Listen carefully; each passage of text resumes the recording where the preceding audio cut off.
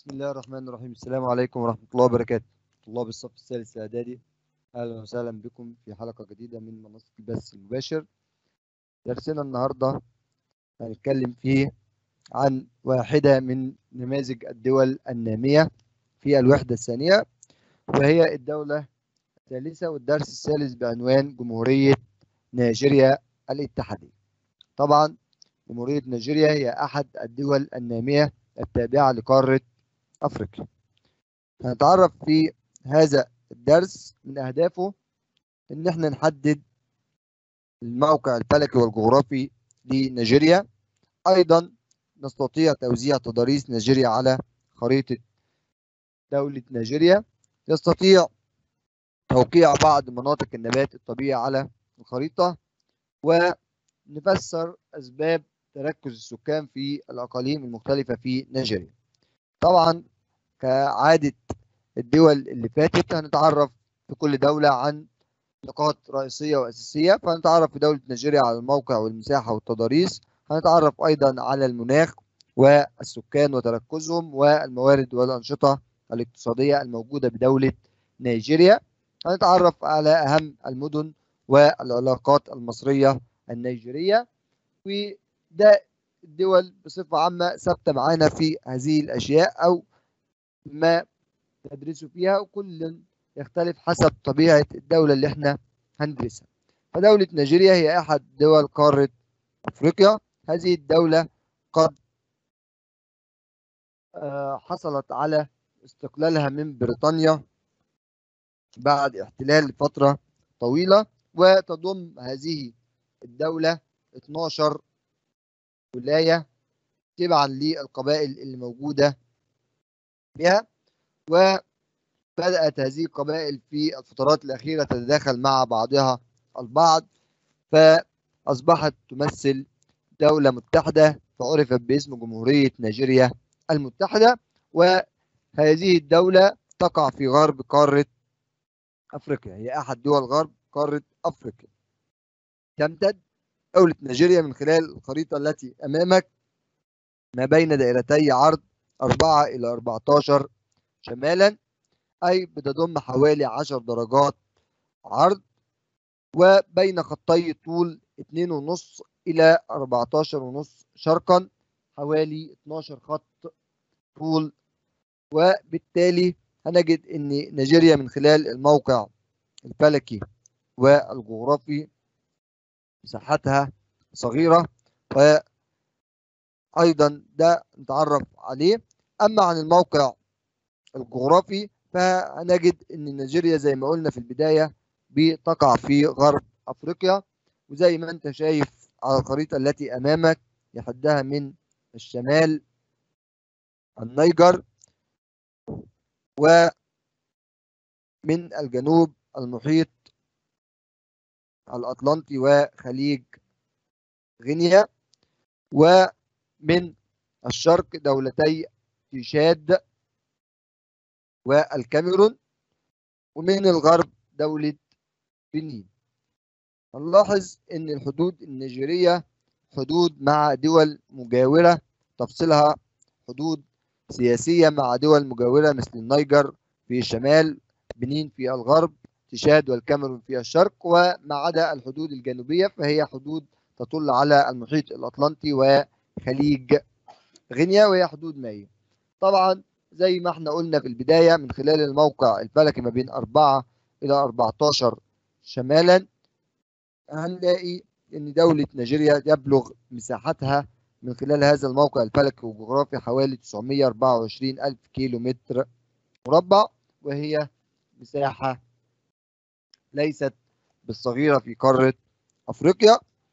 ولذلك عندما ننتقل إلى التضاريس هنجد أن تضاريس نيجيريا متنوعة ما بين سهول وهضاب وتلال. تشمل السهول في نيجيريا نوعان من السهول سهول ساحلية وهي سهول منخفضة نجدها على خليج غينيا. زي ما إحنا قلنا هو الذي يحدها من الجنوب وهو المحيط الأطلنطي وبالتالي هذه السهول خليج غينيا الساحلية بتنتهي مع دلتا نهر النيجر زي ما واضح في الخريطة أدي دلتا نهر النيجر وهي دلتا واسعة نظرا لوجود نهر النيجر في هذه المنطقة وأهمية سهول نهر النيجر. أما عن السهول الفيضية فهي بتقع في السهول الشمالية ويصل ارتفاعها حوالي 700 متر فوق مستوى سطح البحر؟ ودي سهول بتتكون من خلال نهر النيجر والتي تعتمد عليه نيجيريا في الري والزراعة. أنا عندي السهول الرئيسية اللي بتعتمد عليها نيجيريا في الري والزراعة هي سهول نهر النيجر وهي في السهول الشمالية المتسعة فوق مستوى سطح البحر وترتفع بحوالي 700 متر. أيضا عندنا داخل نيجيريا سهول نهر بنوى وده على الجانب الشرقي من نيجيريا وأيضا بتعتمد عليه نيجيريا في عمليات الري والزراعة وده لما نيجي نتكلم عن الموارد والأنشطة الاقتصادية في نيجيريا هنلاقي إن ليه أهمية كبيرة في قيام الزراعة بدولة نيجيريا. أما عن الهضاب فهنجد من خلال الخريطة يوجد هضبة واحدة وهي هضبة جوس هذه الهضبة نجد أنها ترتفع إلى أكثر من حوالي 1700 متر فوق مستوى سطح البحر وتقع في وسط السهول الشمالية. أما عن التلال فهي عبارة عن أراضي مرتفعة تلية شمالية على السهول الساحلية وديت لما نلاحظ هنلاقيها بتزيد في الارتفاع في الشمال الغربي في الجزء ده تحديدا من قارة أو من دولة نيجيريا وبالتالي يبقى أنا عندي تضاريس متنوعة ما بين سهول ما بين هضاب ما بين تلال سهول ساحلية. هذه السهول الساحلية زي ما إحنا قلنا تقع على خليج غينيا وهي سهول منخفضة تنتهي بدلتا واسعة وهي دلتا نهر النيجر. أما السهول الفيضية فبتوجد في السهول الشمالية وبيكونها أو كونتها الأنهار مثل نهر النيجر وده قلنا الاعتماد عليه بشكل أساسي في عملية الري والزراعة.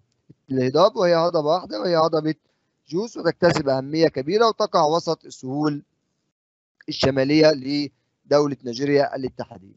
والتلال تقع في الشمال الغربي من السهول الساحلية ويزيد ارتفاعها. لما ننتقل إلى المناخ في نيجيريا هنلاقي طبعا إحنا قلنا إن نيجيريا بتمتد ما بين دائرتي عرض 4 إلى 14 شمالا وده بيوضح إن نيجيريا بتقع في المنطقتين المدارية والاستوائية من حيث المناخ. الناس اللي بتسأل عن الموقع الفلكي وحفظه أو المساحة وحفظها. لا هو ما فيش أسئلة قلنا بتيجي على الأرقام لكن إحنا نبقى عارفين. علشان لما يجي نسأل ده زي سؤال في المناخ أو مثلا سؤال في تركز السكان ونسبتهم بالنسبة للمساحة لازم نبقى عارفين المساحة وعارفين الموقع الفلكي علشان نقدر نحدد نوع المناخ وأيضا نقدر نعرف الكثافة السكانية وليه بتتركز في مناطق ومناطق أخرى. لا من داخل الدول. طيب عندنا قلنا تقع معظم نيجيريا ضمن نطاق المناخ المداري وده بيتميز بارتفاع الحرارة والأمطار الصيفية. أما الأجزاء الجنوبية من نيجيريا فهنلاقيها بتقع ضمن المناخ الاستوائي وده بيتميز بارتفاع الحرارة وسقوط الأمطار طوال العام ده أنا عندي نوعين من المناخ داخل نيجيريا يا إما المناخ المداري وده اللي بيغطي معظم نيجيريا والأطراف الجنوبية وده بيغطيها المناخ الاستوائي. سواء المناخ المداري أو المناخ الاستوائي بيتميز الاثنين بارتفاع الحرارة. ولكن هنجد إن المناخ المداري بيتميز بسقوط الأمطار صيفا بينما الاستوائي بيتميز بسقوط الأمطار طوال العام. وهذا الموقع الفلكي والجغرافي لنيجيريا وتأثيره على المناخ أيضا له تأثير على النبات الطبيعي فهنجد إن بيغطي نيجيريا الغابات الاستوائية والمدارية وخاصة في الأجزاء الجنوبية. لكن هنجد إن بتنمو حشائش السافانا شمال الغابات المدارية. يبقى أنا عندي النبات بيتمثل في الغابات الاستوائية والمدارية اللي بتغطي الجزء الجنوبي من نيجيريا وأيضا حشائش السافانا وتقع في شمال الغابات المدارية لأنها جزء من المناخ المداري وقلنا الغابات المدارية الحشائش السافانا أو الحشائش الحارة هي عبارة عن حديقة حيوان طبيعية مما يساعد على تربية العديد من الحيوانات بسبب غنى هذه المراعي وما تتمتع به من طول حسب كمية الأمطار التي تسقط على المنطقة. وطبعا إحنا قلنا المد... نيجيريا تسقط الأمطار فيها في المنطقة المدارية صيفا وفي المناطق الاستوائية طوال العام. أما عن السكان فهنجد إن نيجيريا هي واحدة من أكبر دول العالم من حيث عدد السكان فيبلغ عدد سكان نيجيريا حوالي 178 مليون نسمة وده طبقا لإحصائية عام 2014 ودولة نيجيريا هي سابع قارات دول العالم أو أحد دول العالم أكبر دول العالم سكانا وهي أولى دول أفريقيا من حيث عدد السكان. طبعا لما نيجي نبص هتلاقي رغم مساحتها الصغيرة لكن عدد السكان بها كبير على عكس مثلا مصر اللي مساحتها تصل إلى أكثر من مليون كيلومتر مربع وعدد السكان بها لا يزيد أو يزيد بقليل عن 100 مليون نسمة.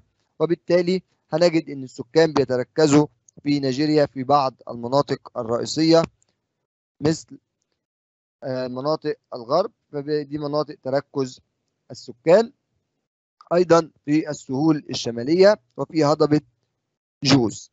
ليه السكان بيتركزوا في الغرب والسهول الشمالية وهضبة جوز؟ لأن لما نرجع شوية للكلام اللي إحنا قلناه من شوية على المناخ وعلى مناطق التضاريس هنلاقي إن الغرب والسهول الشمالية وهضبة جوز ديت من المناطق اللي بتتمتع بوجود الأراضي الزراعية وكمان مراعي لوجود حشائش السافانا وأيضا مناطق التعدين ولذلك بيتركز بها السكان بكثرة في الغرب والسهول الشمالية وهضبة جوز لقيام الزراعة أو العمل في حرفه التعدين أو وجود المراعي الطبيعيه. طيب بيقل السكان في دلتا نهر النيجر طيب ليه بيقل السكان في دلتا نهر النيجر رغم إن هي طبعا لما نيجي نتكلم عن دلتا قلنا إن مناطق الدلتا من المناطق اللي بتبقى أو مناطق السهول الفيضية من مناطق تركز السكان لكن في نيجيريا هنلاقي إن دلتا نهر النيجر بيقل فيها السكان بسبب كثافة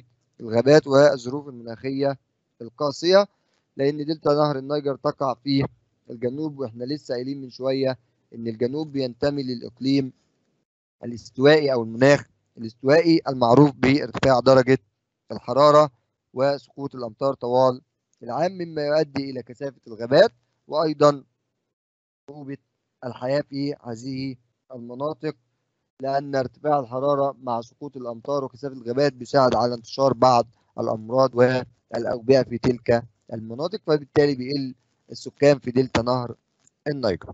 يبقى أنا اتكلمت عن الموقع الفلكي اتكلمت عن الموقع الجغرافي اتكلمت عن تضاريس اتكلمنا عن السكان اتكلمنا عن النبات الطبيعي والمناخ ودلوقتي هننتقل إلى جزء مهم جدا في الدرس وهو الأنشطة والموارد الاقتصادية التي تتمتع بها دولة نيجيريا.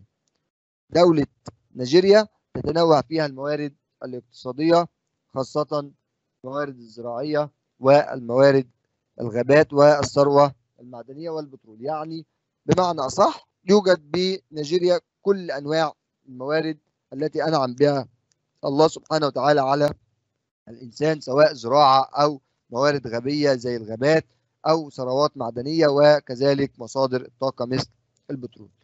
رغم وجود كل هذه الموارد الاقتصادية في نيجيريا لكن يعد اقتصاد نيجيريا من اقتصاد الدول النامية أو اقتصادا ناميا.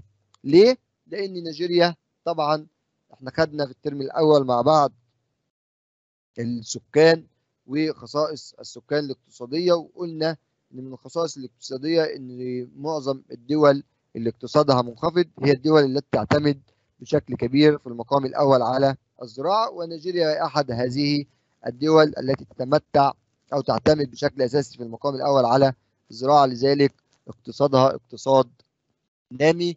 ليس بالاقتصاد المتقدم ده يدل ده اللي يدل على إن لو نيجيريا استغلت الموارد المتاحة واستغلت الثروات المعدنية والبترول والموارد الاقتصادية المتاحة هتصبح واحدة من أهم الدول الاقتصادية في العالم بل ومن أكبر الدول الاقتصادية في العالم بسبب غناها بكثير من الموارد وده اللي إحنا نتعرف عليه من خلال الموارد والأنشطة الاقتصادية. أول حاجة الزراعة.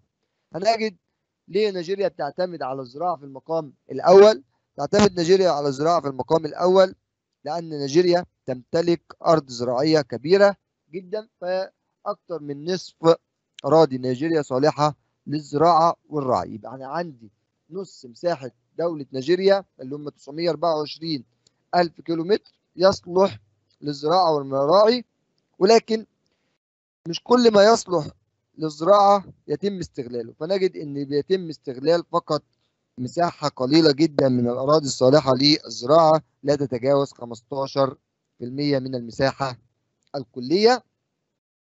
وهنلاقي إن الزراعة تتركز بشكل كبير في الإقليم الغربي وده من أهم مناطق الإنتاج الزراعي في نيجيريا. ولما نبص على الإقليم الغربي بسبب طبعا إحنا قلنا جريان نهر النيجر واللي بتعتمد عليه نيجيريا بشكل أساسي في عمليات الري والزراعة. أما عن الغابات فهنلاقي إن الغابات في نيجيريا بتمثل ثلث مساحة نيجيريا وهي المصدر الأساسي للأخشاب وتعد واحدة من أهم مصادر الأخشاب في نيجيريا وقارة أفريقيا. نجد إن أهم المحاصيل اللي بتنتجها نيجيريا العديد من المحاصيل فيزرع في جنوبها طبعا نظرا للمناخ الاستوائي المطاط وبتعد دولة نيجيريا أولى دول قارة أفريقيا في إنتاج المطاط. أيضا عندنا الأرز وهي تاني دول أفريقيا بعد مصر في إنتاج الأرز بسبب وجود دلتا نهر النيجر ويزرع أيضا في دلتا نهر الإيه؟ النيجر. في الوسط والشمال هنلاقي بيزرع محاصيل عديدة زي الذرة الشامية والرفيعة والكاكاو ونخيل الزيت والفول السوداني وغيرها من المحاصيل التي يمكن أن تزرع في هذه المنطقة. يبقى أنا عندي هنلاحظ أن نيجيريا عندها إنتاج كبير من الناحية الزراعية لذلك إحنا قلنا أن نيجيريا بتعتمد في المقام الأول على الزراعة.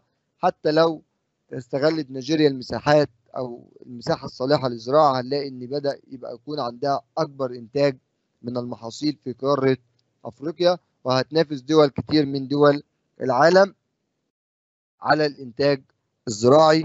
زي ما شفنا كده في الدرس الأول من الوحدة الأولى في الزراعة زي الصين والهند واستغلالهم للزراعة وتقدمهم في كثير من المنتجات الزراعية واحتلالهم المرتبة الأولى على مستوى العالم. تاني حرفة عندنا أو مورد من موارد الأنشطة الاقتصادية الرعي وصيد الحيوانات.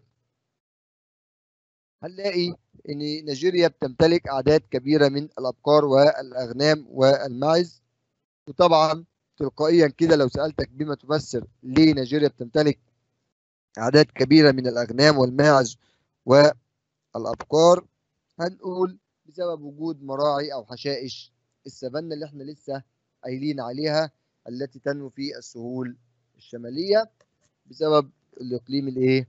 المداري. طيب آه تنتج أيضا نيجيريا كميات كبيرة من الأسماك يبقى أنا عندي الراعي موجود بسبب وجود حشائش السفنة. طب الأسماك كميات بتنتج نيجيريا كميات كبيرة من الأسماك و ده بسبب امتلاكها سواحل طويلة على خليج غينيا ولأنها كمان بتطل على المحيط الأطلنطي ووجود لها بحار آه آسف أنهار في الداخل فلذلك بتنتج كميات كبيرة من الأسماك. فأنا عندي الزراعة دي الحرفة الأولى والأساسية في نيجيريا وبتعتمد عليها في اقتصادها بشكل أساسي لذلك اقتصادها مش متقدم. لو اتسعت المساحة شوية واستغلت نيجيريا الأراضي اللي موجودة هنلاقي الإنتاج هيزيد أكتر وهنلاقي إن ممكن الاقتصاد النيجيري هيكون اقتصاد متقدم. الراعي وصيد الأسماك موجودين الراعي في كميات كبيرة من الأبقار والأغنام والماعز لوجود حشائش السافانا. أما عن الإنتاج السمكي فبتنتج كميات كبيرة بسبب طول سواحلها على خليج غينيا ووجود أنهار في الداخل. ثالث الأنشطة الاقتصادية الثروة المعدنية ومصادر الطاقة. هنلاقي إن التعدين ومصادر الطاقة تمتلك قلنا نيجيريا ثروة معدنية ومصادر طاقة أهمها القصدير. وهنجد إن القصدير بيستخرج من هضبة جوس. نركز على مناطق استخراج المعادن في الدول. نركز على أهم الأنشطة في الدول سواء نيجيريا أو غيرها لأن ديت تبقى موضع لأسئلة كتير في الامتحان وأيضا مناطق تركز السكان. طيب يبقى أنا عندي أول حاجة من المعادن القصدير وده بيستخرج من هضبة جوز. من مصادر الطاقة الفحم وبيستخرج من المنطقة الشرقية لدولة نيجيريا. أما البترول فهنلاقي إن نيجيريا بتنتج فقط 3% من الإنتاج العالمي. وطبعا كلمة 3% ممكن تشوف إن الرقم صغير لكن بالنسبة للإنتاج ولقارة أفريقيا هي تنتج كمية كبيرة وده بيستخرج من المناطق القريبة من الساحل في الجنوب الشرقي. يبقى عندنا البترول بيستخرج من المناطق القريبة من ساحل جنوب الايه الشرقي. عندنا القصدير من هضبة جوس الفحم يستخرج من المنطقة الشرقية. طيب بالنسبة بقى للصناعة هنلاقي إن الصناعة في نيجيريا ليست بالصناعة المتطورة أو المتنوعة. رغم امتلاكها لثروة زراعية وموارد معدنية وبترول.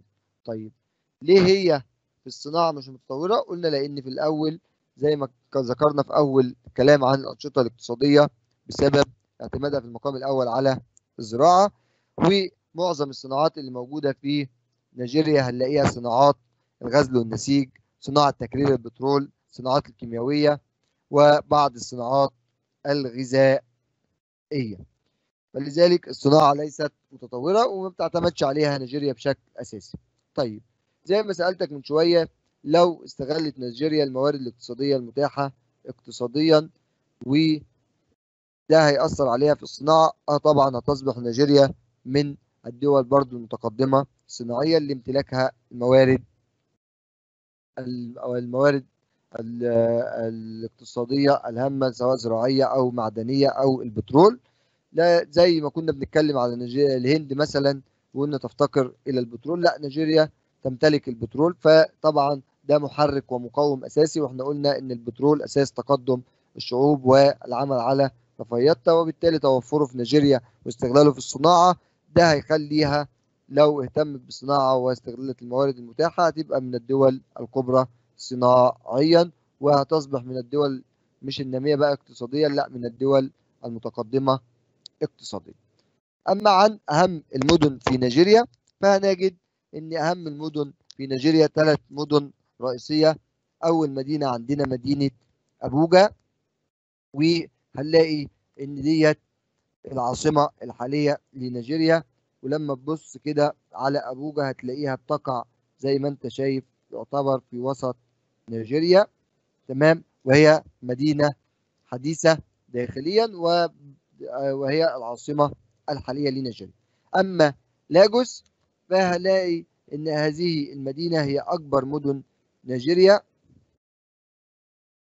تمام؟ وديت هنلاقيها مزدحمة بالسكان ومتكدسة بالسكان وكانت لاجوس هي العاصمة القديمة لنيجيريا وتعتبر في المقام الحالي هي العاصمة الاقتصادية للبلاد. أما عن مدينة إبيدان فهنلاقيها تأتي في المركز الثاني من حيث الأهمية بعد لاجوس وهي مركز التجارة والتعليم والمواصلات في نيجيريا وبتعتمد عليها مدن ودي أشهر المدن داخل نيجيريا. يبقى أبوجا ودي العاصمة الحالية وهي مدينة حديثة داخلية. أما لاجوس ودي كانت العاصمة القديمة وبتشتهر بأنها العاصمة الاقتصادية وبتكتظ بعدد كبير من السكان. أما ابيدان فهنلاقيها بتحتل المركز الثاني وبها العديد من مراكز التجارة ومراكز التعليم والمواصلات.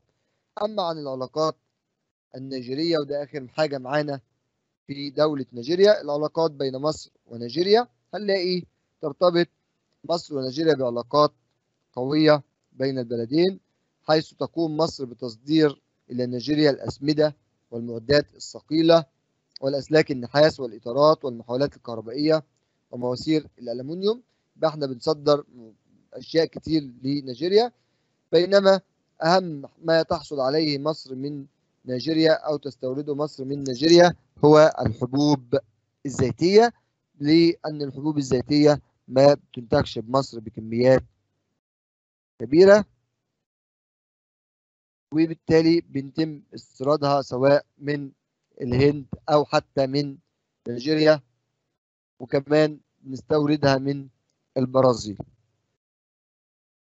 ده بالنسبة لدولة نيجيريا. ننتقل إلى التدريبات. أول سؤال بيقول لك اختر الإجابة الصحيحة من بين الأقواس. يحد نيجيريا من الشمال دولة نقط النيجر بنين تشاد الكاميرون. اثنين اختر الإجابة. ينتهي نهر النيجر بدلتا واسعة في السهول الشمالية السهول الساحلية هضبة جوس المنطقة الشرقية. ثلاثة اختر أيضا تعتبر نيجيريا أولى دول أفريقيا إنتاجا لنقط الأرز الأرز الذرة الشامية المطاط قصب السكر. أربعة تعد مدينة نقط العاصمة القديمة وكبرى المدن النيجيريا إبيدان لاجوس أبوجا النيجر خمسة اختر أهم الواردات المصرية من نيجيريا الحديد السيارات الحبوب الزيتية اللحوم نشوف الناس اللي معانا وناخد إجاباتهم بشكل سريع. إجابة صحيحة يا يسا. أول حاجة يسا جاوبها لنا. يحد نيجيريا من الشمال دولة النيجر. تاني سؤال ينتهي دلت نهر النيجر بدلتا واسعة فيه. نقط السهول الشمالية السهول الساحلية. هضبة جوس المنطقة الشرقية. إن شاء الله أول بس من المنهج يخلص إن شاء الله هنقسمه تاني على المراجعات. والناس اللي بتسأل على الدول أه حد بيسأل على نيجيريا وألمانيا مقررين على أسيوط حالا حاضر أجاوبك. وقلنا الناس ترجع برضو لمدارسها في موضوع الدول علشان لو في تعديل أو حاجة. أسيوط الهند ونيجيريا وألمانيا. طب رقم اتنين يا رجالة الأول بدل تلاتة قبل تلاتة. منا ونانسي إجابات صحيحة. ويسا برضو. ومينا. عندنا السؤال كان بيقول ينتهي نهر النيجر بدلتا واسعة في السهول الشمالية؟ أم السهول الساحلية. هضبة جوس منطقة الشرقية. قلنا نهر النيجر بينتهي بدلتا واسعة في السهول الساحلية وقلنا طبعا ده علشان طبعا هي سهول ساحلية منخفضة على خليج. غينيا بتتسع في دلتا نهر النيجر وليس السهول الشمالية. عندنا دلتا نهر النيجر بتنتهي في السهول الساحلية بدلتا واسعة تعتبر نيجيريا أولى الدول في إنتاج قلنا بتعتبر أولى الدول في إنتاج المطاط. العاصمة القديمة وأكبر المدن قلنا مدينة لاجوس. كانت العاصمة قديمة وكبرى المدن وأكثرها سكانا. قلنا تستورد مصر من أهم واردات الحبوب الزيتية.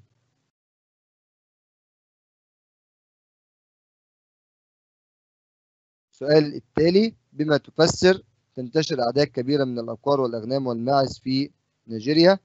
اثنين قلة عدد السكان في دلتا نيجيريا أو دلتا النيجر يعني ثلاثة ارتفاع الكثافة السكانية في هضبة جوس أربعة أهمية الغابات في نيجيريا خمسة بما تفسر تنتج نيجيريا الأسماك بكميات كبيرة. برافو يا مينا. ونانسي السهول الساحلية برافو. طبعا كل الإجابات اللي وصلت هي إجابات صحيحة على أسئلة الاختياري. يلا بقى ناخد أول سؤال. أول إجابة لسؤال بما تفسر انتشار أعداد كبيرة من الأبقار والأغنام والماعز في نيجيريا. برافو عليك. يا ياسا إجابة صحيحة بسبب انتشار مراعي الحشائش. السافانا إجابة صحيحة. ماشي. ومينا كمان؟ إجابة صحيحة. آه، رقم اتنين. قلة السكان بسبب كثرة المناخ وكثرة الغابات. مش هنقول ما نقولش الأشجار بنقول بسبب يمينا كثرة الغابات. إجابة صحيحة. مريم إجابة صحيحة. الدول آه، اللي كل محافظة ملزمة بس بالدول المقررة عليها. بس انت لو حابب تكمل معانا الدول دي معلومات وهتفيدك فيما بعد في الثانوية إن شاء الله. منا إجابة صحيحة لكن انت ملزم في الامتحان بالدول المقررة فقط. لسه أنا عندي أول إجابة. انتشار أعداد كبيرة من الأبقار والأغنام والماعز في نيجيريا بسبب وفرة مراعي حشائش السافانا. الثالث الثاني قلة أعداد السكان في دلتا النيجر أو نيجيريا قلنا بسبب كثافة الغابات والظروف المناخية القاسية ارتفاع الكثافة السكانية في هضبة جوز بسبب الأراضي الزراعية والمراعي ومناطق التعدين قلنا أهمية الغابات لأنها مصدر للإعشاب. أما تنتج نيجيريا كميات كبيرة من الأسماك لأنها تمتلك سواحل طويلة على خليج غينيا وتنوع المصايد النهرية والبحيرية في الداخل بسبب زي وجود أنهار النيجر ونهر بنوا وغيرها من البحيرات الداخلية السؤال التالي ما النتائج المترتبة على جريان نهر النيجر داخل نيجيريا؟ اثنين وجود مراعي السافانا الغنية في نيجيريا ماذا يحدث تطورت الصناعة في نيجيريا؟